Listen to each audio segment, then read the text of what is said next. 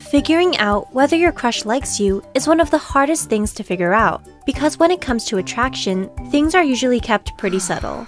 You have to look pretty close if you want to see the signs that someone likes you. Here's what to keep an eye out for. 1. They respond to the sound of your voice. The sound of your voice can seriously attract other people. Many studies have found that women are attracted to deeper voices in men, whereas men like higher voices in women. Fast talkers are seen as more educated, and if you can change up your inflection, you're seen as more interesting.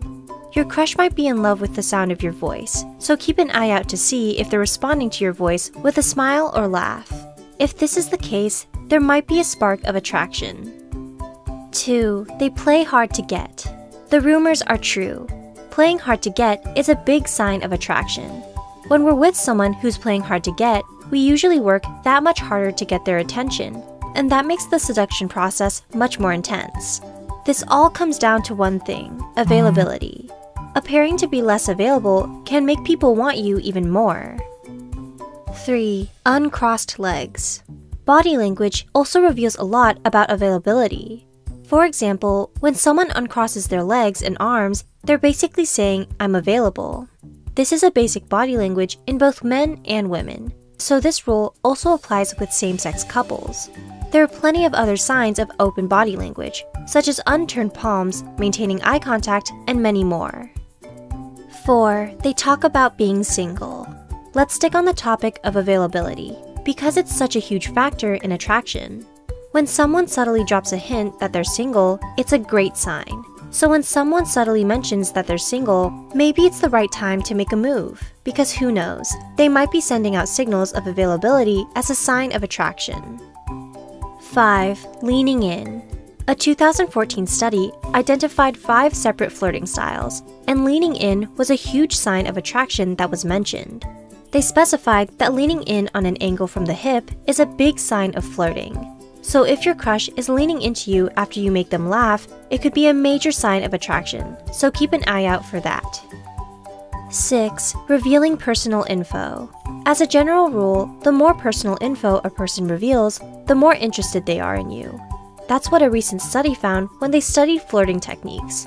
This can still be done in a subtle way. For example, someone might reveal that they're dealing with a heartbreaking loss or a major setback, but in a slightly casual way. 7. Teasing.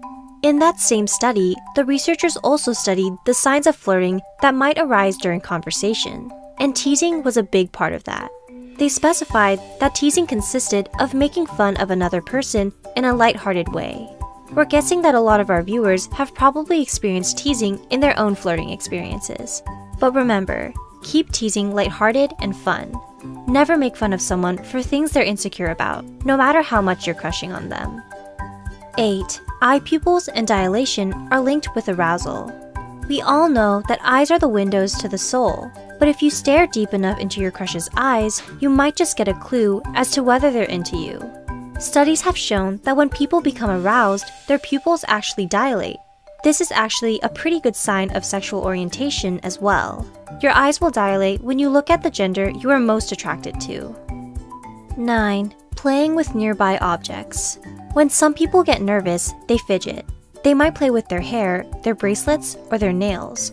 But according to a recent study, those same behaviors might be linked with attraction. Researchers found that people who were flirting often found themselves playing with buttons on their shirts, zippers, strings, and many other nearby objects. 10. Mirroring. Another big sign of attraction is mirroring. If you look closely, you might find that your crush seems to be copying your movements and behaviors in a subtle way. It might be tilting their head to the side in the same way as you, or adopting a similar posture. Mirroring has been studied quite intensively in psychological research. Which of these signs do you find interesting and believable? Let us know your own experiences in the comments below. Also, please check out our friends, We the Kim, for a video they did on understanding highly sensitive people. It's very interesting.